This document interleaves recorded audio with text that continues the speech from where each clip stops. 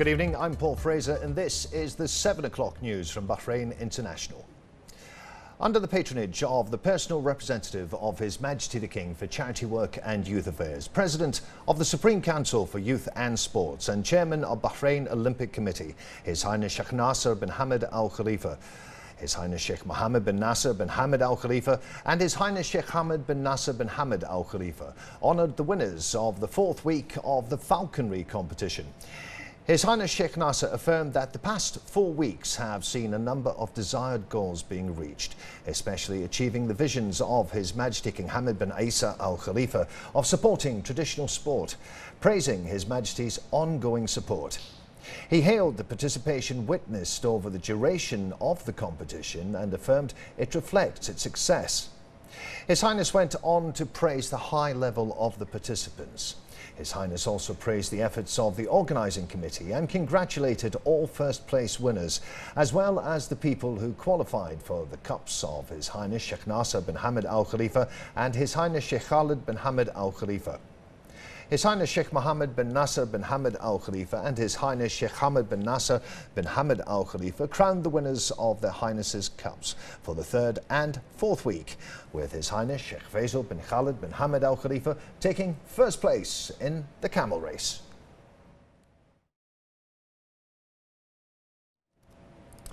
In the presence of the Commander of the National Guard, His Highness Lieutenant General Sheikh Mohammed bin Isa Al Khalifa, the Deputy Chairman of the Rashid Equestrian and Horse Racing Club High Committee, His Highness Sheikh Isa bin Salman bin Hamad Al Khalifa, Sheikh Sultan Al Din bin Mohammed bin Salman Al Khalifa, Sheikh Khalid bin Ali bin Isa Al Khalifa, Sheikh Salman bin Mohammed bin Isa Al Khalifa, and Sheikh Isa bin Abdullah bin Isa Al Khalifa.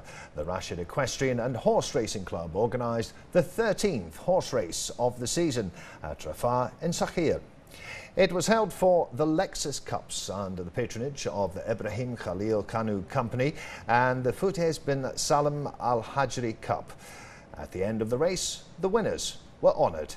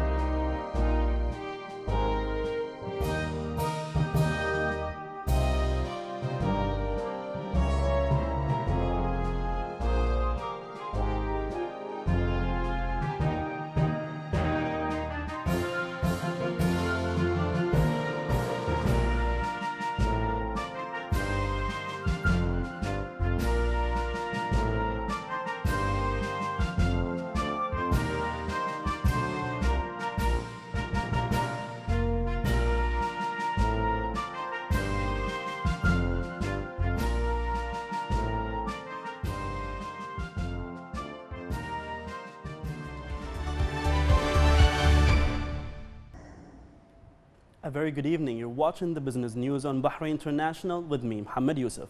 Bahrain All Share Index closed this week with 30,328,000 shares worth 4,781,000 Bahraini dinars conducted through 419 transactions. Investors traded in 17 companies. Nine witnessed a rise in shares, five fell, and the rest maintained their shares. The investment was the leading sector, and the commercial bank sector came in second.